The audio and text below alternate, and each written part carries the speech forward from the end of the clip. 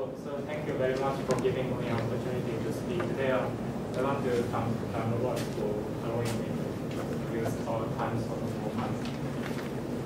Okay, and, uh, so, but, You talk louder, Benny.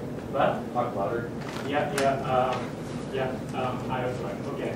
So I'm gonna talk about decoding Hawking radiation by quantum teleportation. It's still in preparation, but it's a very simple idea.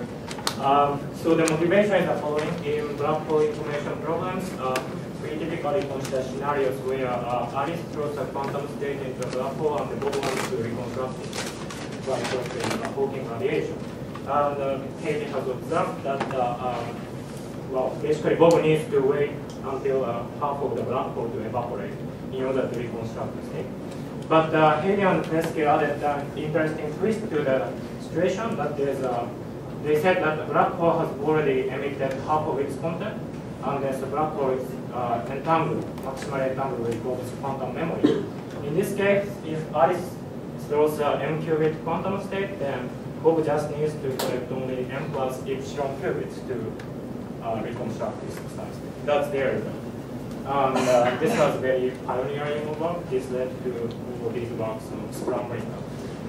But there is a subtlety in this argument in the sense that, uh, well, what they proved is that information theoretically possible. That is, uh, they prove that there exists such decoder V operator, which emits this precise state.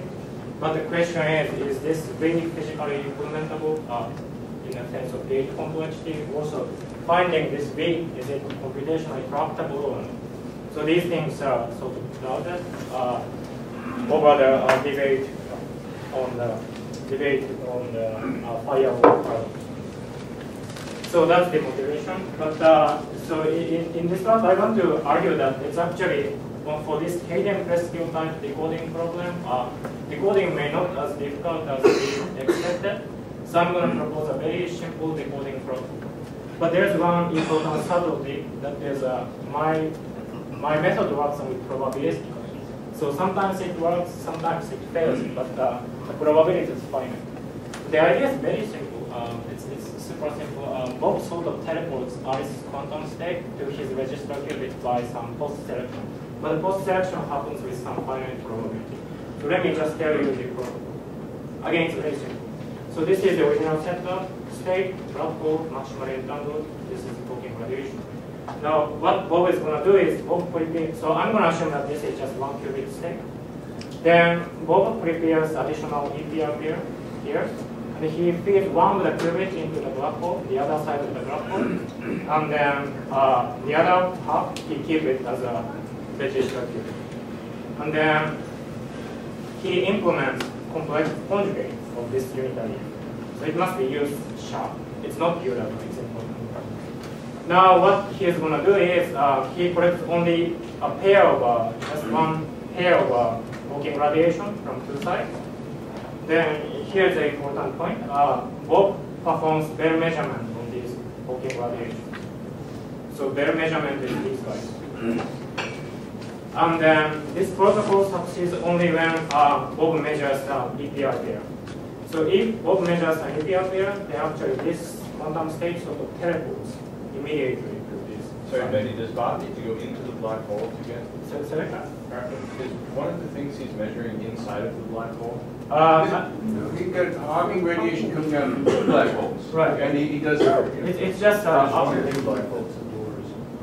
it's two, two milliseconds. It's like a D and D prime. So D is the next Hawking quantum. The squares are black holes. Yeah, uh, so sorry, it's one, Black one, dots one, are- hole and then it's the other half. Right. So I'm, I'm thinking about half thermofield double space. It's a wormhole, oh, it's a wormhole, not a black hole, you make it a black hole. No, no. That, that, that, that's important. So in It's some different than anything in physical. well, I, I- It- No, but Benny, do you want that, on the bottom line, do you want that second dot, is that really a black hole? Or is that the Hawking So- radiation that the black hole's in entangled with? Well, maybe. Uh, so so let, let let me just clarify that the problem setting I'm considering is that uh, I'm assuming that this is a thermofield double state, that this is pure thermofield double state. That's B and B primers two black holes. Right, right. And one of them is a black hole. So in some sense, this uh, unspun uh, decoding is also already technical. It's It's already done, yeah. So it's a very different. So that's why. Uh, I- yeah. So anyway, so I, I think we are confused about notation. What are the black dots and what are the squares? Uh, The rectangles. Yeah, the rec- rectangle. What's a black hole and what's not a black hole? The, the rectangle is just a unitary operator, and then Okay. so, so I, I- I drew two dots. uh, It's maybe confusing, but it's uh, entangled black hole, two-sided alias. Oh, I Doesn't see. need to be. Oh, okay, okay. Uh, Okay, so, but, but I, I mean, I motivated the program from uh, black hole viewpoint, but it's, I think, purely quantum information theory. But anyway, the point is, all Bob needs to do is do the EPR uh, projection. And then, um, so the point is, this protocol works very well as long as this unitary U is strongly scrambled. And uh, I'm going to claim that this uh, probability of measuring EPR pair is actually fine. In this case, it's at least one over four. And he, but Bob does need to implement U, U star, correct? Yeah, he needs to implement U star. Which is complicated. Yeah, I don't know, but na- nature does U, so I, I would accept it. This, uh, but I, I, I, I, I, I agree that some people may have some. So it's not reverse, not necessarily exponential. It's not necessarily. Okay. Okay, so this is the protocol. So now let me argue why this works. Uh, What is, what is strongly scrambled? So I'm going And also, how is fee chosen? Fee is arbitrary? to we, we Size. The input. uh, The input arbitrary, yeah. So now, um, I'm gonna first tell you why it should work when things are maximally scrambling. Um, I don't wanna go into the detailed definitions, but, uh, um, all you need to look at this is, uh, so in Hayden Preskill, uh, ni- nice thing about their paper is that they view this unitary operator as a quantum state. Then they argue that this A and BD are sort of nearly maximally entangled. And then this can be computed by um, mutual information between A and B. So, but for simplicity of this discussion only in this slide, uh, let's assume that this is maximal. Then this means that operator acting on A has some corresponding operator acting on B, which does the same thing. Then, but I can do this argument for U sharp, then X star and X star tilde. But then, if you look at this figure, then what I'm doing is just I'm projecting here, which is same as I'm drawing right here. Then you see that X propagates to here, and then it cancels by this X sharp. So this and this is the same, which means that this input is maximally correlated or entangled with this output. So if you put psi, you always get psi, as long as it is maximally scrambled. So this is the equation. So it's a very simple. It depends on getting the right result of that, of that measurement of the two reds. Right, right. So in this case, actually, uh, I need to measure um, EPR pair. So then- But not only uh, maximally internal pair, but one particular maximally You you get a Bell measurement with a particular outcome. you say. Yeah. Right, right. One particular coherent one. Yes, yes. So this succeeds one quarter of the time? Uh, it's up, uh, I can, actually, actually, so let, let me, just the next slide. Uh, but uh, I can prove that it's at least one over four. It's a which one? At least one over four. Yeah. And then, so now let, let me compute the probability of uh, measuring an EPR pair by both. Then I got this expression. Uh, I'm not sure if this is intuitive or not, but uh, the point is uh, when this is cubic, then it's at least one over four. So when the system is uh, very chaotic, this probability becomes smaller and smaller. But still, it's finite if size of A is finite. And then, okay. So this is a, a probability for post-selection. And then now assume that uh, I successfully measure the EPR here, then what's the probability of successful teleportation? And this can be uh, uh, quantified by fidelity. And uh, so I'm not gonna go into detail of how we carefully define fidelity, but uh, I I can give you later. But the point is this fidelity can be also computed after the post-selection. It looks like this. So the point is, um, if it's not scrambling at all, then this function is just one. So fidelity is same as just randomness. Sorry, Benny, this, this IAAD, is it is it exponentially small in the entropy, or is it just No, no, no. in terms If, of a few if, if, Just a few if, qubits, right? if, your message size is very small, then it's fine. Yeah. But if you want to feed lots of information, then it becomes very Yeah, no, okay, fine. Okay, so this is case. So, um, so, but if it's maximally chaotic in a sense that this is big, then it approaches to unity. So that's. So the nice thing is that uh, these formulas work for intermediate scrambling regime. And uh, I observed some interesting trade-off that there's a, well, if you multiply these two numbers, you get something. Okay, so these are the just details for calculations, but I think for black hole physicists, this function is not so nice. But uh, so nice thing is, let me advertise my previous paper um, um, and Roberts, um, two the authors are in this room. The point is this function you can actually compute from out of time ordered correlation function. Um, in this case, uh, you compute the OTOC for uh, Alice encoding qubits mode and uh, outgoing Hawking radiation. Then you can compute this. Then, well, we're going to compute the average, but we have this nice expression.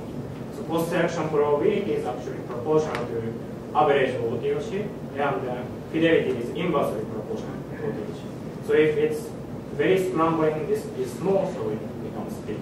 So that's the result. Okay? So now, And where is B on the right-hand side of that equation? where, where? In, in the bottom, your, your out of time ordered Yeah, correlator. exactly. B, B, B, D? B, B. well, there's You a put a B B, on the left-hand side. D. B. B. B is the second letter. Well, I, I, I don't know No, no, about it's this, but it's, it's, this, is- this is the, so Okay, I'm, I- I'll ask you later. it's just uh, what you, uh, you can Yeah. compute in. The Uh, question was where it is in the right hand side. Where is it in the right-hand side? You had. Maybe go back to the formula. This is, this is- oh, okay. Uh, Where is the dependence of, of B on the right hand side of the formula? One line up, one line up, one line up. I see A's and B's. What is the dependence of B on this formula? Yes. B, B, B depend, B is a complement of A. Uh, So, so, so, so I, I- I think this formula is nice because you only look at A and B, but somehow you know entanglement involved in B. But somehow it works. Okay, so now let me move on to a big speculative slide, but uh, now, now uh, so the point is our decoding protocol works even in a weakly scrambling regime too. So let me briefly remind you what was the um, uh, argument on this black hole complementarity. That is, uh, suppose you have this uh, Einstein gravity or um, holographic shear then OTOC decays like this. I'm, I'm showing just a connected piece. So the scrambling time, Bob can reconstruct Iris state faithfully because this becomes small. But the point was it's too late. Uh, before Iris signal reaches Bob, uh, he hits the singularity, or Iris needs to use a super Planckian like, energy to do this. And then so black hole complementarity sort of saves the non-Brownian theory in this situation. But uh, I can think of the following scenario that there's a Bob can reconstruct Alice's quantum state, but only imperfectly at order uh, time one. So it's after the thermalization time, but before the scrambling. Then you, you still have like small decay of OTOC. So this means that uh, uh, uh, Bob can reconstruct Alice's quantum state, but only imperfectly, like at the level of like 1 over n squared. So he holds this slightly, well, very imperfect clone of Alice's state, then he can jump into the black hole. But in this case, Alice has enough time to shoot a message. She can use very low energy thing. So it seems to me that uh, they can verify the quantum cloning at the very, at the next leading order correction. And then I do not know how to resolve this. Maybe there is another 1 over n square factor which makes Alice quantum state cohere or something like that, or I don't know, but uh, that's a mystery to me. Anyway. But one can do imperfect quantum cloning, right? If it's, if it's not the same state or if you probabilistically get a clone, these things can be done. Uh-huh, uh-huh. So this may not be a contradiction. Right, right, right. So, so actually, uh, I'm a bit, bit uh, yeah, I was a bit worried about talking about this, but I, I want to make this statement more quantitative and rigorous. that's one thing I'm talking. I have a comment about this. I think there's a, this ER equals EPR thing gives a new perspective on this, on this question, which isn't that you hit the singularity before, like, you were able to, like, send a signal that some high energy Mhm. thing is present, but that the measurement that Alice does outside the black hole disturbs the bit behind the horizon because it goes through the wormhole. Uh-huh. And so what you're describing here is that it would So disturb it a there- little bit. So, so there is some process which compensates this. Yeah, so- but it isn't that we're rescued by some kind of a curtain that comes down at the scrambling time. It's just that the effect is small before then, but it would be non-zero. Mm. I think that's, Okay. that's not inconsistent with the Okay, way good, you're describing it. Maybe we, we can teach me later. So from, from a uh, theoretical computer science Mhm. perspective, I've always been bothered by the idea that the dynamic, the computational complexity, that, that, that, that um, black hole complementarity is per- preserved by the high computational complexity of, of doing. Because I have an intuitive feeling that even if I had an oracle for the halting problem, Uh-huh. uh, there should not be an information theoretical contradiction that comes out of black hole physics. Right. I- In other words, the high computational complexity, if, if, if an infinitely powerful computer could create a paradox, I feel there's a paradox still there. Yeah. Yeah, yeah, yeah. Uh, You you may be saying there's other reasons for making that because you simplify the computation. Okay. Well, yeah, I'm, all, all all I want to say is, uh, well, I'm saying that this situation of decoding is not that difficult.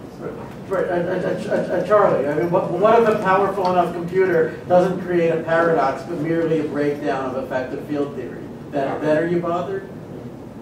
Uh, I, I, I guess I, I, I, I I would rather live with a breakdown of effective field theory. All right. Yeah, yeah. Okay, because I, because. I mean, that's just, uh, you know, you're loyal to the, the discipline you grew up in. Yeah, yeah, but with firewall, it seems, it seems to me that that's the situation, you know, and for me, effective field theory can totally go, I never, you know, cared about it in the first place. I I should remind you that the quantum computers you use live within effective field theory.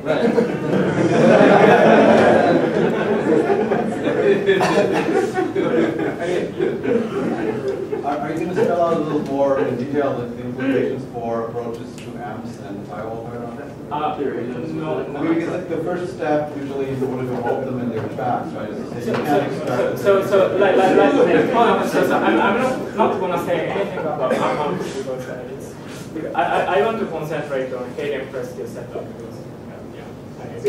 But this seems to undermine almost every approach. Sure, sure, sure. I mean, I feel the pressure to talk about, but I, I decline. Yeah, yeah.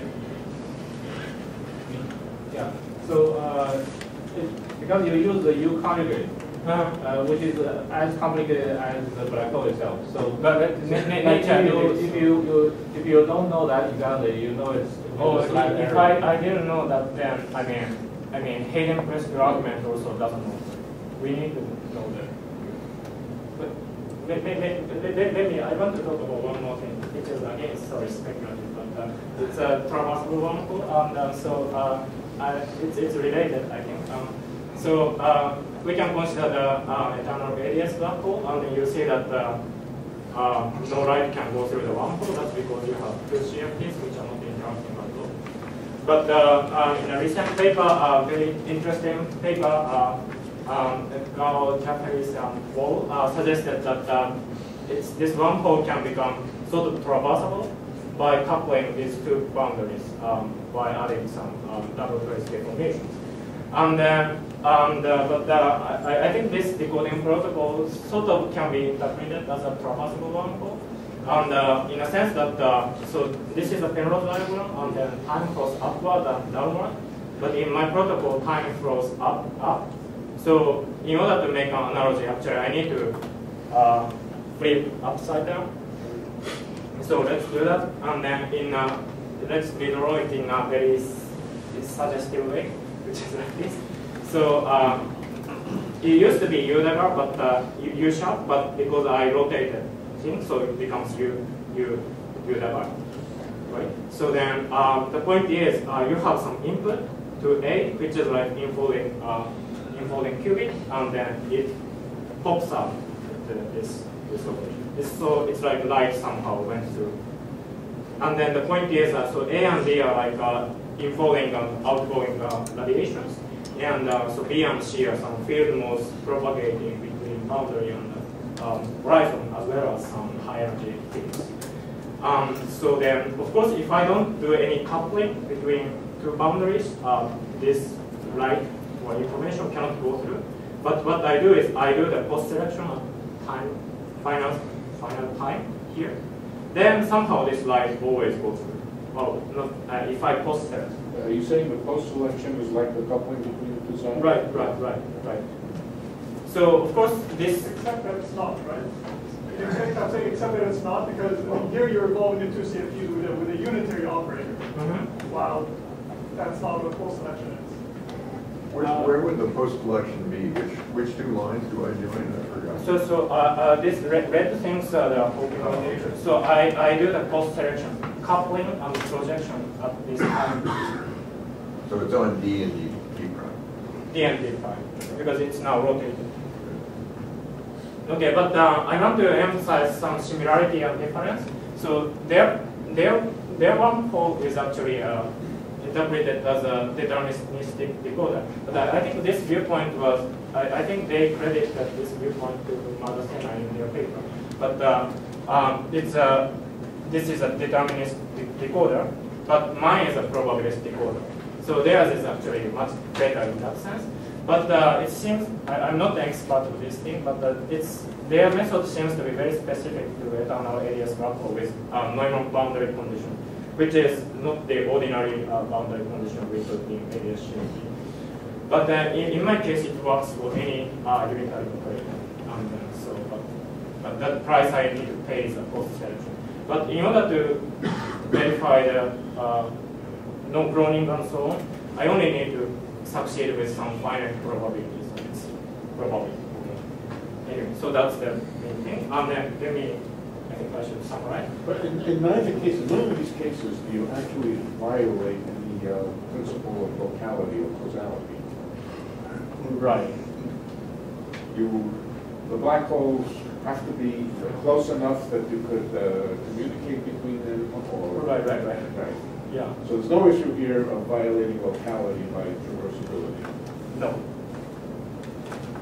So couldn't you turn a probabilistic decoder into a deterministic one using quantum error correction? So I, I couldn't hear. Sorry. Couldn't you turn a probabilistic decoder into a deterministic one using quantum error correction?